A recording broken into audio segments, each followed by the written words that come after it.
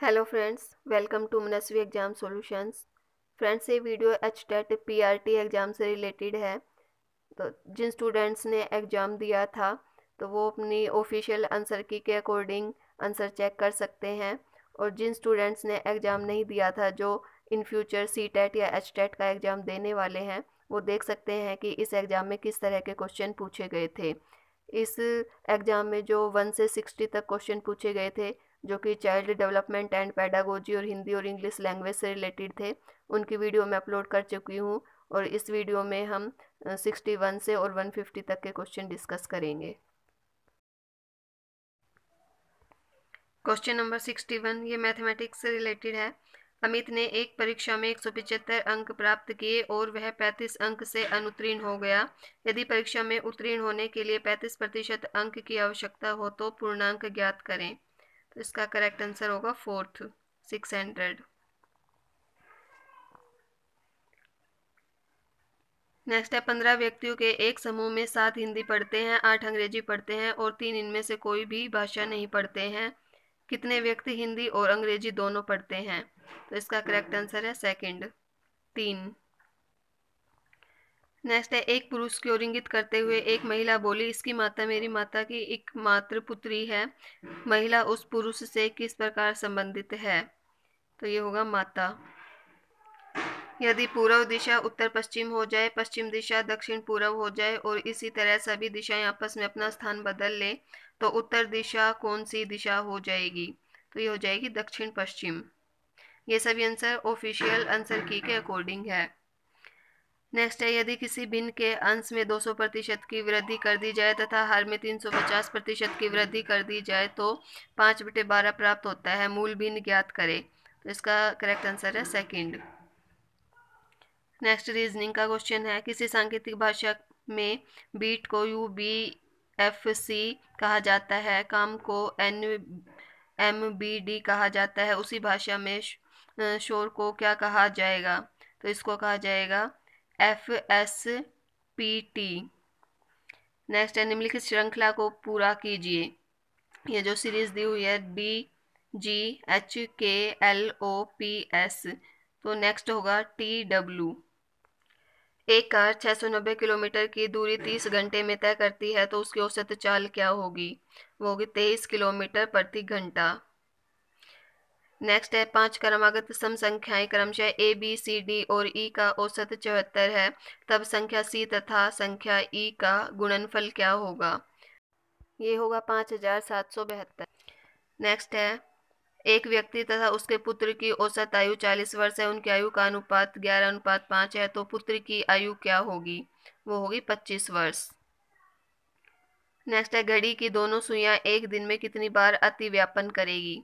तो ये करेगी बाईस बार। यदि शब्द फ्रेंड के प्रत्येक अक्षर को उसके वर्ण क्रम अनुसार जमाया जाए तो कितने अक्षरों के स्थान अपरिवर्तित रहेंगे? तो इसका करेक्ट आंसर है थर्ड नेक्स्ट है, एक कैंटीन में सात दिनों के लिए छप्पन किलोग्राम चावल की आवश्यकता होती है तो अप्रैल तथा मई माह में कुल मिलाकर कितने किलोग्राम चावल की आवश्यकता होगी? वो होगी चार सौ अट्ठासी किलोग्राम। एक तस्वीर की ओर इशारा करते हुए विशाल ने कहा, यह मेरे दादाजी के इकलौते पुत्र की बहन है तो बताइए तस्वीर वाली महिला विशाल से किस प्रकार संबंधित है? तो वो है बुआ। दी गई श्रृंखला को उसके कर्म के आधार पर पूरा करें। तो इसमें जो नेक्स्ट नंबर होगा, वो होगा सेवेंटी फाइव एक व्यक्ति आठ हज़ार रुपये पंद्रह प्रतिशत वार्षिक दर से तीन वर्ष के लिए उधार लेता है, उसे कितना साधारण ब्याज चुकाना होगा? उसे चुकाने होंगे छत्तीस सौ रुपये नेक्स्ट क्वेश्चन है, जब इसको सोल्व करेंगे तो इसका आंसर आएगा नाइन एक आयत की लंबाई, उसकी चौड़ाई की तीन गुनी है। यदि इस आयत का क्षेत्रफल एक सौ सैंतालीस वर्ग मीटर हो तो इसका परिमाप ज्ञात करें। वो होगा छप्पन मीटर। दिए गए चार विकल्पों में से तीन किसी प्रकार से समान है तथा अपना एक समूह बनाते हैं। वह है एक विकल्प कौन सा है जो इस समूह में नहीं आता? वो होगा बांसुरी। हरियाणा साहित्य अकादमी की पत्रिका है। तो ये है हरिगंधा। तिलियार झील कहाँ अवस्थित है? ये है रोहतक में। हरियाणा की तेरहवीं विधानसभा के अध्यक्ष कौन थे? ये थे कंवरपाल। और इनको अभी नए मंत्रिमंडल में शिक्षा मंत्री बनाया गया है। नेक्स्ट क्वेश्चन मैथमेटिक्स से रिलेटेड है। एक लाख साठ हज़ार रुपये का दो वर्ष में दस प्रतिशत वार्षिक दर से छमाही देय चक्रवर्ती ब्याज कितना होगा? ये होगा चौंतीस हज़ार चार सौ इक्यासी रुपये एक त्रिभुजाकार प्लाट की भुजाओं का अनुपात तीन पाँच सात है और इसका परिमाप तीन सौ मीटर है तो इसका क्षेत्रफल होगा। इसका करेक्ट आंसर है थर्ड नेक्स्ट क्वेश्चन में दो पॉइंट पी और क्यू है, इनके बीच का डिस्टेंस पूछा हुआ है तो वो होगा under root X two minus Y two इसका whole square plus X one minus Y one का होल स्क्वेयर थर्ड इसका करेक्ट आंसर होगा. नेक्स्ट राम एक पुस्तक का एक बटे पाँचवा भाग पढ़ता है, यदि फिर भी साठ पृष्ठ पढ़ने को शेष है तो पुस्तक में कुल कितने पृष्ठ हैं? तो इसमें टोटल पृष्ठ हैं पिचहत्तर. फ़र्स्ट इसका करेक्ट आंसर है. नेक्स्ट क्वेश्चन में सरलतम रूप पूछा हुआ है। जब इसको सोल्व करेंगे तो इसका करेक्ट आंसर आएगा। थर्ड सात बटे तेरह। की वैल्यू पूछी हुई है। जब इसको सोल्व करेंगे तो इसका आंसर होगा फ़र्स्ट नेक्स्ट क्वेश्चन में माचिस की डिब्बी का आयतन पूछा हुआ है। तो होगा एक सौ अस्सी घन सेंटीमीटर नेक्स्ट में एक वर्ग की प्रत्येक भुजा की लंबाई में पंद्रह प्रतिशत की वृद्धि कर दी जाए तो इसके क्षेत्रफल में कितने प्रतिशत की वृद्धि होगी? तो इसका करेक्ट आंसर है सेकंड बाईस पॉइंट पाँच प्रतिशत। सॉरी इसका करेक्ट आंसर फोर्थ है बत्तीस पॉइंट दो पाँच प्रतिशत। नेक्स्ट है, शांति ने रोमा और टीना के बीच एक अनुपात, तीन के अनुपात में चालीस टिकट, डाक टिकट टिकट बांटे। टीना को कितने डाक टिकट मिले? उसको मिले तीस। नेक्स्ट एक बेलनाकार जार के आधार की परिधि एक सौ बत्तीस सेंटीमीटर है और उसकी ऊंचाई 25 सेंटीमीटर है तो उसमें कितने लीटर पानी आ सकता है? तो उसमें आ सकता है चौंतीस पॉइंट छः पाँच लीटर। नेक्स्ट क्वेश्चन है, दो संपूरक कोणों का अनुपात दिया हुआ है, दो अनुपात तीन तो कोणों का माप होगा, वो होगा बहत्तर डिग्री और 108 डिग्री। नेक्स्ट है, यदि दो घनों के आयतनों का अनुपात सत्ताईस अनुपात चौसठ है तो उनके संपूर्ण पृष्ठीय क्षेत्रफल का अनुपात होगा, वो होगा नौ अनुपात सोलह। नेक्स्ट क्वेश्चन को सोल्व करेंगे तो इसका आंसर होगा five divide by eight next आठ सेंटीमीटर लंबाई और छः सेंटीमीटर चौड़ाई की एक कागज़ की सीट पर दो सेंटीमीटर भुजा वाले कितने वर्ग बनाए जा सकते हैं? तो ये है बारह। थर्ड इसका करेक्ट आंसर है। यदि ए की आय, बी की आय से बीस प्रतिशत कम हो तो बी की आय, ए की आय से कितने प्रतिशत अधिक है? वो होगी पच्चीस प्रतिशत। ग्यारह प्रेक्षणों का औसत साठ है। यदि प्रथम छः प्रेक्षणों का औसत उनसठ हो तो अंतिम छः प्रेक्षणों का औसत बासठ हो तो छठे प्रेक्षण का मान है। तो ये होगा छियासठ। सिक्सटी सिक्स इसका करेक्ट आंसर है। नेक्स्ट क्वेश्चन है। संख्याओं का अंतर सिक्सटी सिक्स है और उनका अनुपात पाँच अनुपात दो है तो वो दो संख्याएँ हैं। वो होगी एक सौ दस और चवालीस।